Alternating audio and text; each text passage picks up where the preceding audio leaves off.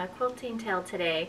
My name is Shaylin and it's been a while since I've filmed a video, including one like today's where I'm going to show you my progress on some of my latest projects. I've finished some more and I'm in the middle of some that I had started previously and a brand new one that I'm going to share that I hadn't planned on because if you've seen some of my older videos, you know that I'm trying to work my way through those works in progress. But this one I just couldn't resist. I took a class and I wanted to start working on it while it's fresh in my head. So it's going to be an ongoing one mixed in with the ones that I'm currently trying to finish. So I'm a teacher and the end of the school year has been very hectic and so I just haven't had the time to devote to filming like I would like but now I am on summer break and so I'm hoping to be able to make more content over the next couple months and just share what I've been working on and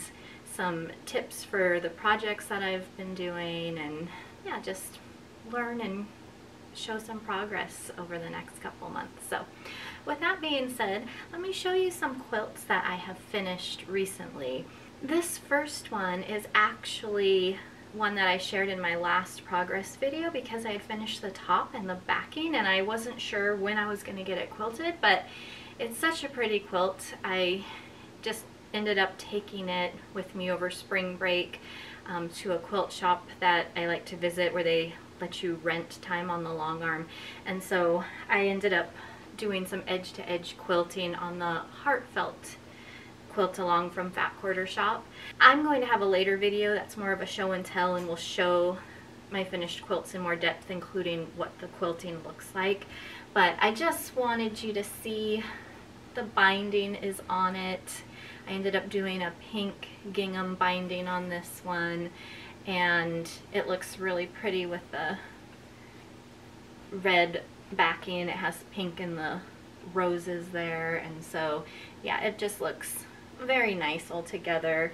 Um, complements the all the different fabrics in this quilt top. So like I said, I will share this one and put it up so you can see the whole thing in a later video and so you can see the quilting up close. But it's a little hard to set up just right now on my ironing board stand here. So that was one of them. The other one I finished was the Quilting Life Mystery Block of the Month the last progress video, I just had one block left to do, December's block. I got it finished and I had this one quilted too and again I'll show it up close um, in a future video but just wanted you to see a glimpse of it here.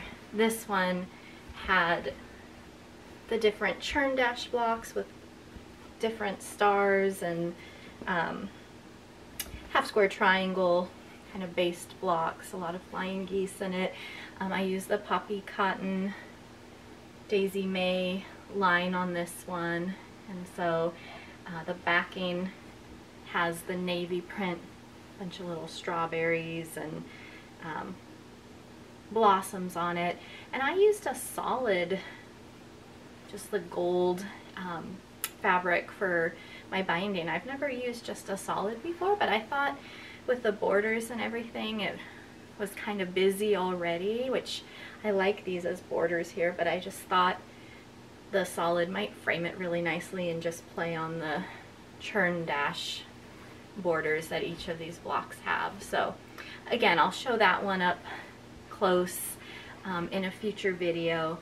And this is also a good time to mention if you follow my Instagram or Facebook account, I do put up pictures as I finish projects and um, you can see them sooner if you don't want to wait for the next video, but it will be there so you can see it up close. So you may have seen in a previous video I made a quilt queue to keep track of the order of the quilts I'm going to work on to try and finish these works in progress. And another quilt that I finished and is off to the long armor right now, I'm just waiting to get it back, is my swoon quilt. And so I'm not going to show what the top looked like, but I will show some pictures of the last few blocks that I finished before I sashed them all together. And then again, I'll share that one after I do the binding uh, with the two quilts that I just shared. But Swoon is also done minus the binding. Um, and so my next one on the list was the Brick House quilt. And I've shared some blocks with those. I can't actually finish that one though because I need 16 blocks to finish it. And I'm working on those as I finish each quilt. So each brick house block will represent a different line of fabric or some of them aren't lines of fabric but just the uh, fabric pulls that I did for those quilts and so um, I need to finish a few more quilts before I can make the 16th block and sash those together so that one is just kind of pending um, which brings me now to my ombre puff quilt. This is a free pattern from Lo and Behold Stitchery. I've always wanted to make a puff quilt. They look so cozy and I found some fabrics that I just love the colors together. And so I had shared before how I had already made the pockets. There's 360 pockets in the quilt size I'm going to make and I've been keeping them in this little decorative box here.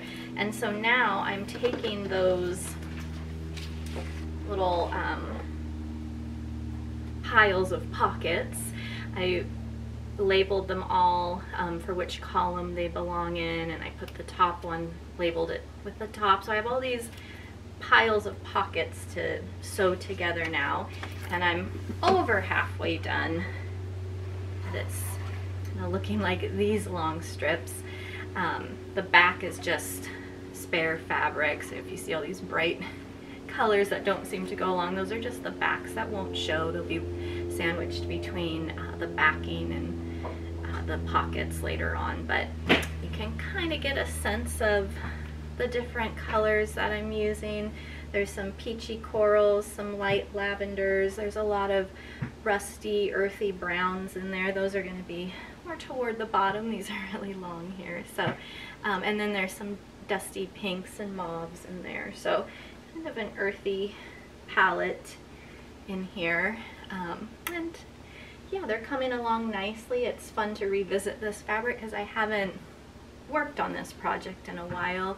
Um, I started it, the quilt along started I believe in October of 2022 and so I just took a break on it to work on some that were closer to being finished. So hopefully by the time I get my swoon quilt back and I'm able to show all my quilts up close, this will be another one that I'm showing because it doesn't go to the quilter. I'll just be hand tying that one.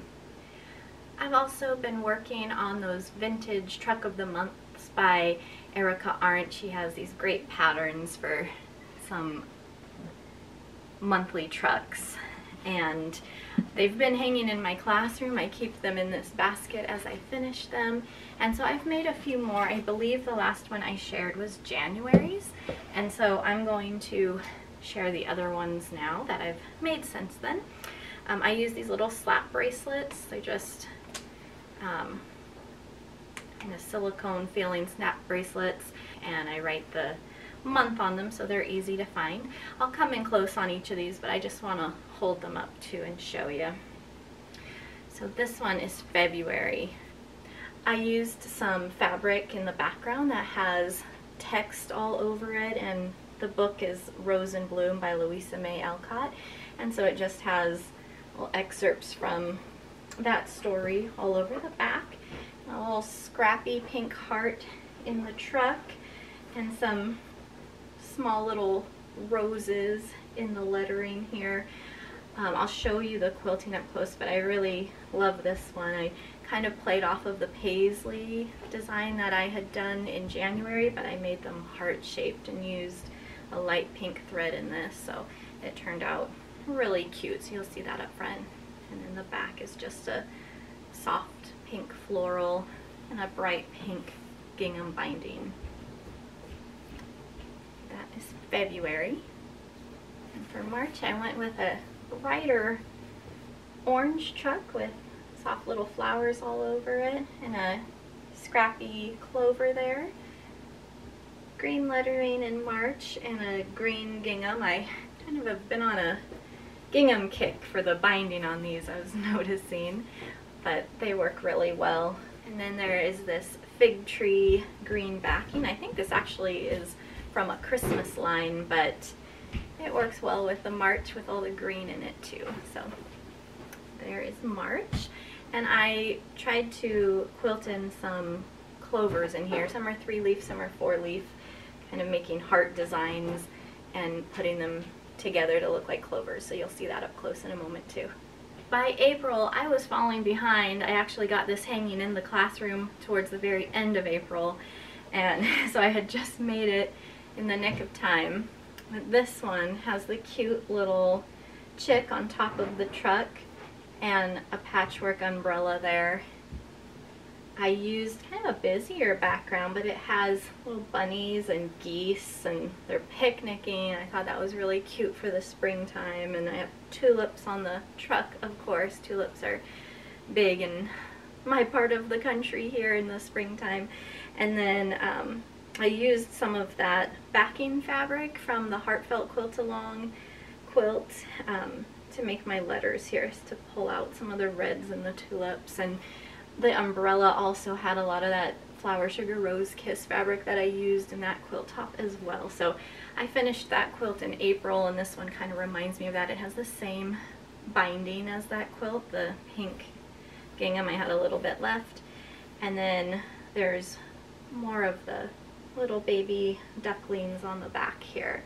So that one I just did a crosshatch design. I um, used an erasable marker and used rulers to make uh, straight lines going diagonally across both ways. I believe I did it about two inches apart. So I just made it in time for April and then I did not make May yet. I actually opted to make June because the end of May was approaching and I thought well I could make May and just hang it for a day or I could have the June wall hanging up for a couple weeks before school was out. So that's what I ended up doing. So I still need to make May. But for June, I really love this one. It's so fun. This one has the surfboard and the beach balls and I really like this one because of the fabric. It's a little different from what I normally do with florals. It has the seagulls with their little beanies and their rain boots. They're eating french fries and just hanging around on the fabric. And the surfboard, I wanted it to be bright and colorful. So I have this middle line of smiling jellyfish. I'll show you those up close, but just really fun, bright colors. I wanted to do a sandy looking dot print in the background. I think this came from the All Hallows Eve line, so it was more of a fall line, but I thought it looked kind of like sand. And then this time, instead of the gingham, I did a striped navy binding. I thought that would work well with the truck. There's some navy in the seagulls attire there. And a nice, bright, cheerful, summery background. I used the same one in the June lettering. And for this one, I just quilted a meander. Um, nothing real special about June, but I just wanted to do a meander and get it up. So I really like how this one turned out. So I'm going to bring the camera in now so you can see each of these up close and the quilting on them as well.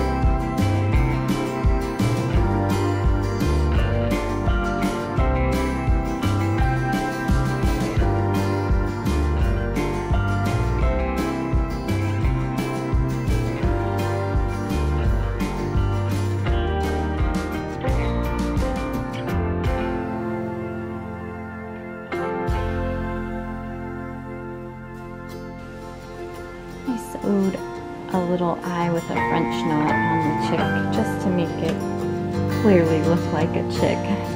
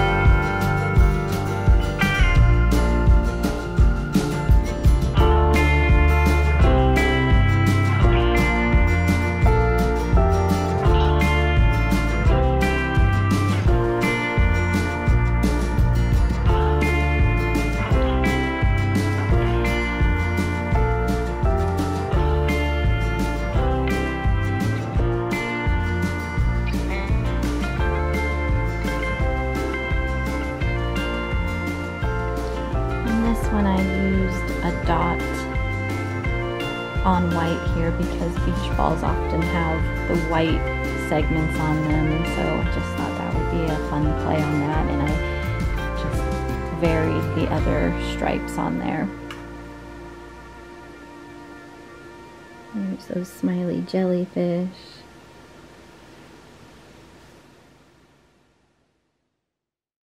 Finally, I mentioned a new project that I started and just couldn't help but work on it amongst all these other ones that I'm trying to finish.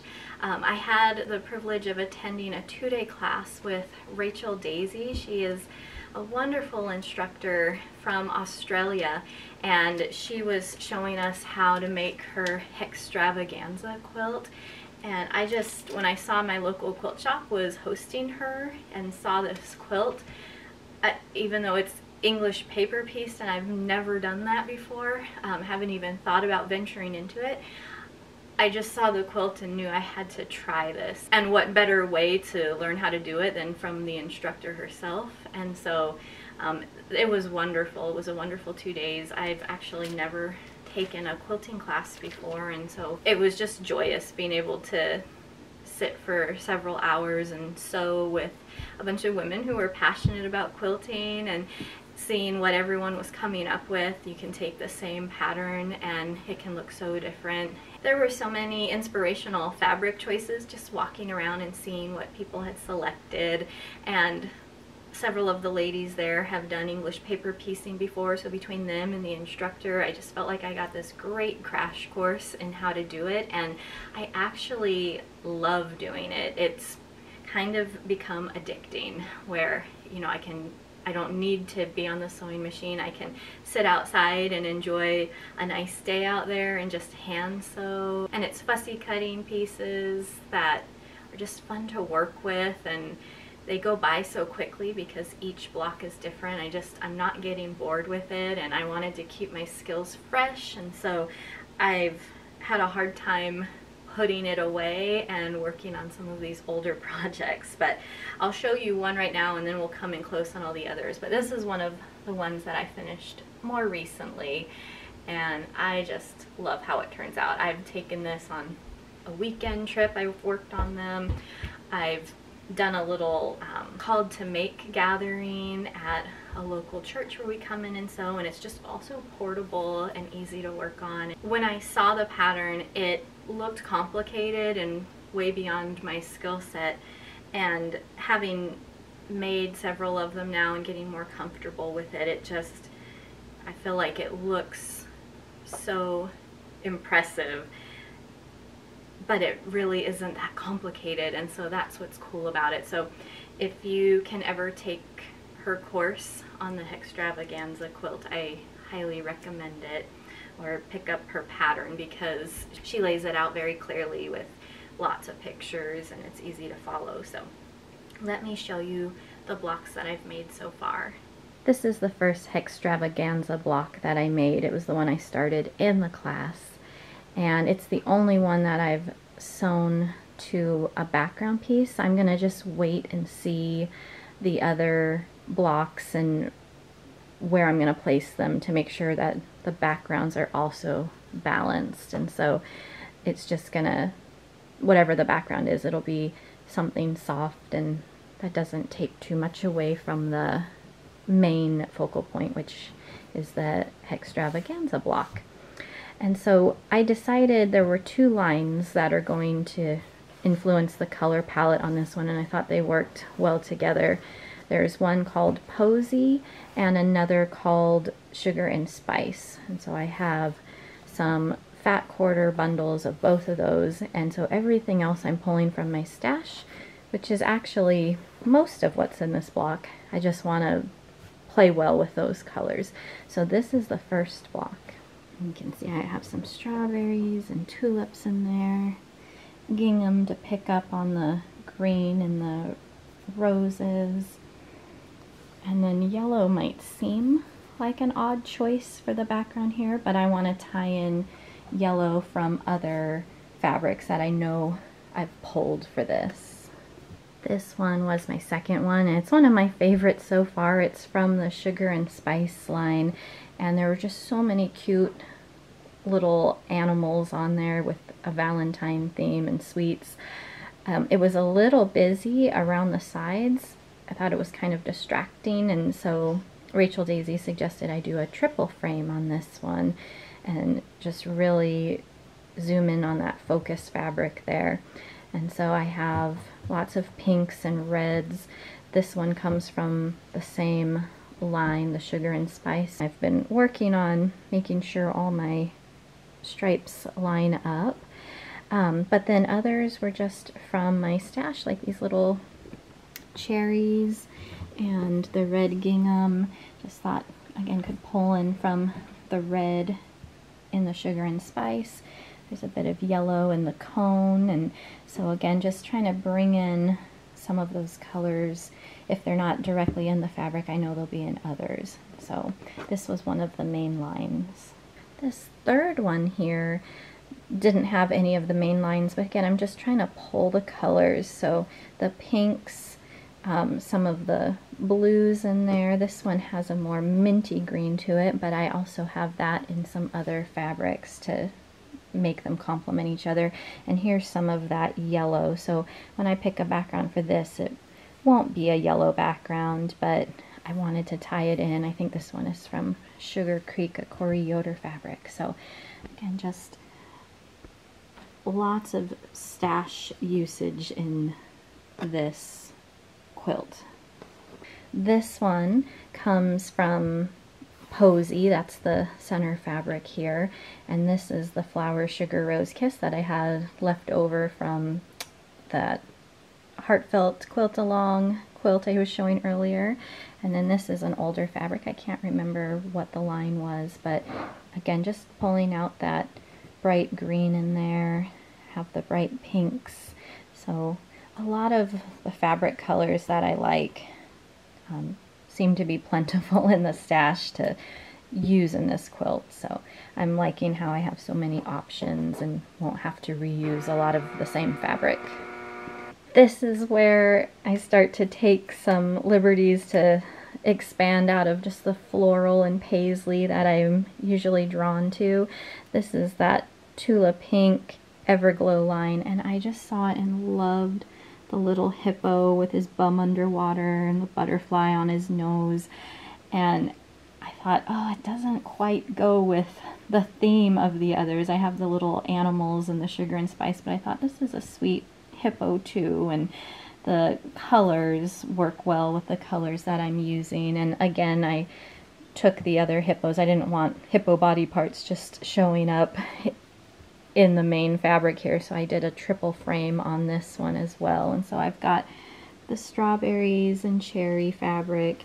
This was a vintage fabric that I got um, a few months ago from a vendor and just thought it all looks really nice together but I just feel like this quilt is going to be eclectically beautiful. I'm hoping the colors just all work well, so even if the themes are a little different, Rachel Daisy was saying just each block should give the viewer something to look at and and just want to go in close and see what you put in there. And I feel like that's what this is doing, is just making you want to examine each one because there are little surprises in each. And this is the most recent finish, as I mentioned before. This one, the focus fabric here is called Local Honey. And again, I wasn't expecting to use the mint green at first because that's not in the main lines, but I'd already used one before, and so now it's just all tying in. I have some of the pinks showing up in here that tie in and then this stripe is from one of my main lines that I'm using. I actually fussy cut some of the local honey fabric that was this focus fabric to um, make little hexies here that go on the corners of the block and so I have that Sugar Creek fabric in blue because I do have that light blue and other fabrics like the one with the little puppy and the ice cream cone that I showed earlier. So the more of these I make, when I spread them all out, they start to look more and more nice together and I just get so excited about them. I, it's hard, like I said, to stop working on this one because I just love seeing it all come together. This one I had to work really hard to try and line up the stripes. I, I couldn't always hit them right on, but like in this one, it's not quite a match, but a lot of them I was able to, and so from a distance, um, you know, it all just looks nice together, and so I'm just really, I've really taken to this English paper piecing. I didn't think I would, like I said, but it's just been a lot of fun. One more thing I wanted to share was this craft to go case I made um, using another Erica Arndt pattern and I made this specifically to carry all the English paper piecing supplies in it. So I had this little cheater fabric that already looks like it was sewn together and I just did some top stitching around the squares. I used a decorative zipper here that had little scissors on it and when you open it up there's a little pop of yellow and roses um, or tulips in there too. And I'm just keeping the extra pieces I have, some extra hexagons and things I'll use for accents later in my Hextravaganza quilt. So that's the front. I used a bright pink gingham handle and then the back has this really pretty kind of vintage um, advertisements all over with the pinks and reds. So I really like that. Let me show you the inside. I'm going to try and do this one-handed. It's trimmed with the same inside lining fabric here. The zipper is on this side. And so here's what's on the inside. So I have this vinyl here that I got from Missouri Star Quilt Company. I have these little lace doilies, fabric inside, lots of threads that match my um, fabric colors. Got my little glue pen refills and my glue pen here. A little um, tape measure, so that goes in there. And then at the bottom I just tuck my fabric cutting scissors, so travel size best press, my little hexagons that are reusable. And then this I got from taking the Hextravaganza class. It's really neat little um, thread spool holder. There's a magnet here for needles and then the glue pen just pops in like so and so that's really handy to have when I'm actually um, making my blocks. So I just kind of tuck those all in here and I love the color. And then on this side are some smaller pockets. Got my threads, more threads in here. Um, this is a little magnetic strip in here and a little flap that has my needles and pins and then another pocket to put embroidery scissors. I tuck a pencil in there too. Um, I put a little bit of um, interfacing. I wadded it up at the bottom because these scissors are pretty sharp, so I was trying to protect them from poking through there. So I trimmed with these tiny little strawberries. You can see strawberries throughout, um, including on the trim of the fabric. They're on the little doilies there.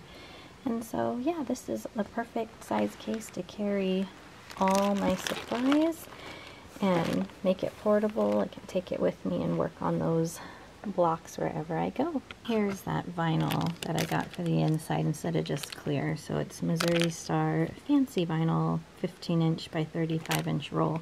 And you can see because it's rolled so tightly it kind of comes out looking like this. And so I had tried just placing some heavy books on it to flatten it and that didn't work. So I just stuck a piece of fabric on top. I'm not sure if you're supposed to do this, but it worked for me. Put a piece of fabric on top and took a low iron setting and just pressed it for a few seconds and it flattened out.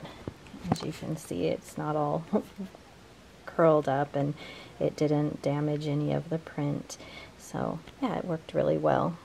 One word of warning, I used a pretty bulky zipper. Um, I just happened to have this one. It was white. It thought it would look good with this fabric, but it was so thick. I broke two needles trying to sew this in. It made it a little challenging. So I would recommend, if you're going to do this pattern, um, a zipper with finer teeth that needles can go through. Like this one, there was no problem with it. But if you have these big plastic teeth here, I don't know, that can be a little difficult to sew over, at least with my machine.